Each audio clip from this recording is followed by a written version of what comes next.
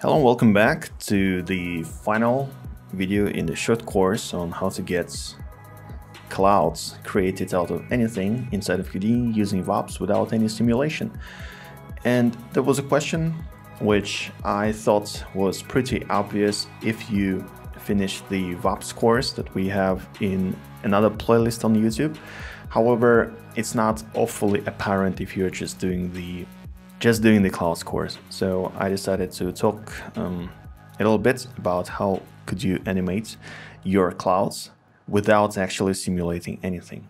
So as you can see, I have opened the um, result from the lesson number two. And if we go inside of our VOPs, uh, we can see the noises that are connected and the volume sample gets to the volume output. However, in order to animate this, um, if I have the voxel size like 0.02, it will take actually forever to animate anything, so I will drop it to 0.3, uh, so it will evaluate much faster. So, okay, as you can see, we have this and it took about a second to evaluate the numbers. So what do we do? Uh, we go inside of our volume VOP press enter. And as you can see, the volumes, uh, we can have different frequency, offsets um, inside the big volume, inside the small volume, right? And uh, of course, we can animate this. So how do we do that? Uh, to make it animated properly, we have to expose the parameters. So to do just that, we can middle click on any parameter. For example, here we middle click and uh, promote parameter in the roughness, middle click promote parameter. Actually, you can promote anything, but the turbulence will not be animated great because the turbu uh, turbulence goes into one, two, three. Um, it's not a float, right? It's an integer, so animating this will not do you well, it will not be great.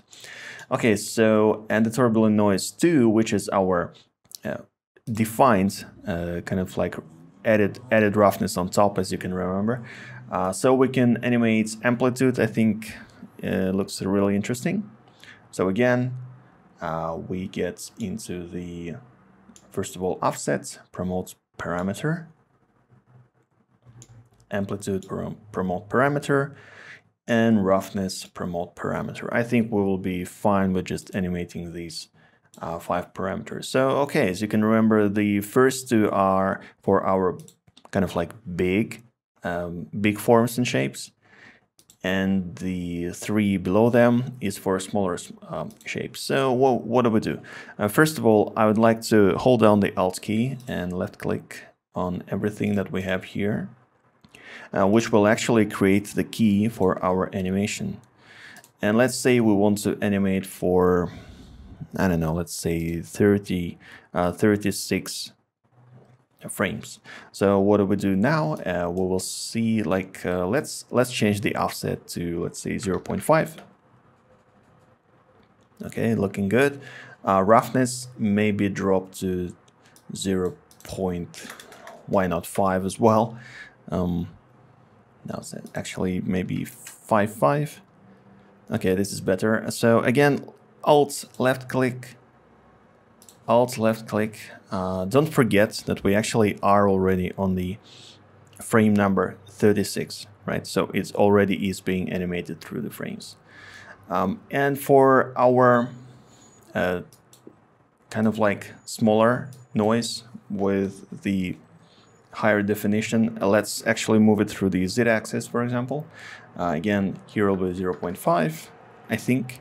I'm, I'm not sure. I, currently, I'm making these numbers up as we go. Amplitude, maybe 0.5 and something, 0.6. Uh, roughness, maybe even a little bit more. So let's actually Alt left click, Alt left click. And now if we start kind of like clicking and scrolling through, we can see that our cloud is being animated. All right, so to actually preview it in real time, you can get to the Flipbook. So hold down the left, left mouse button, create Flipbook with new settings. Uh, me personally, I think you'll be fine if your resolution, it, by default, I think it's like the HD. I just want to make it full HD so that, you know, it's a little bit bigger because like you remember, I said it before, I have a 4K screen, so those numbers are really small for my uh, display. So, and now, uh, this is why I actually decreased the uh, volume, uh, the voxel size because so it to speed up the computation. So if we press the start, it will open up another um, another window where we will see our preview of our animation of the cloud. And we will see that here it's being evaluated frame by frame, but here already we can do the real-time animation you can disable and enable the real time toggle if you press this one, but I think uh, viewing it real time will be just, you know, whoops, uh, will be just fine. Okay, so we have gone through more than half of it. Uh, let's let's wait for another, I don't know, what, 10 seconds or something. And let's see how that will go. Me personally, I think it looks kind of okay.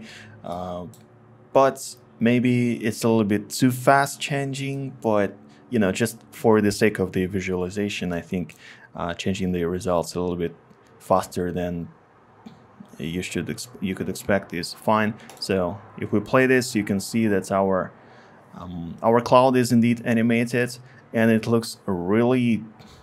Me personally, I think for like a minutes of efforts, the result is much better than I expected. So if you spend like instead of one minute, maybe three minutes on it, uh, maybe it will be amazing. So anyway, the point is that we did not simulate anything. We were just controlling the noises and animating them super easy, uh, super fast, super fun. And yeah, there you go. So this is this is how easy it is to animate it. Of course, mm, it might take a little bit of time to get used to making those noises, um, connecting them, and making the clouds look really good. Um, obviously, comes with experience, I think, but if you got through this uh, little series, I think you are on the right track and nothing stops you from creating your own personal like setups. And uh, again, don't forget to watch the VOPS series if you haven't already, because there are more things that you can, uh, that you can learn about VOPS that might and should help you creating interesting setups instead of the VOPS, um, despite the fact that we were working with uh, Surface VOPS and now we work with like the volume VOP. But anyway, uh, hopefully this was helpful. Um, hopefully you learned a thing or two about clouds, animating them, and rendering and creating, and overall about working with VDBs, exporting, and everything in between. So yeah, uh, if you like the video, press the like button. If you don't want to miss anything else, uh, press the subscribe button. And if you have ideas and suggestions, uh, don't hesitate to leave in the comments below. I try to read all of your comments and respond if needed. With that out of the way, um, I hope you have a nice day. See you in the next one. Goodbye.